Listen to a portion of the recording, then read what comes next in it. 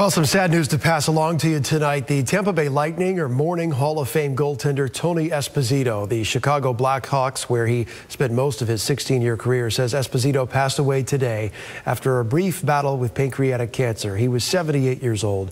His brother is Phil Esposito, who, as you know, co-founded the Tampa Bay Lightning and served as the Bolts radio color commentator. The Bolts releasing this statement here today, calling Tony a fixture at games and a founding cornerstone member of the Tampa Bay Lightning family alongside his brother, Tony Esposito, a legend on the ice and off it.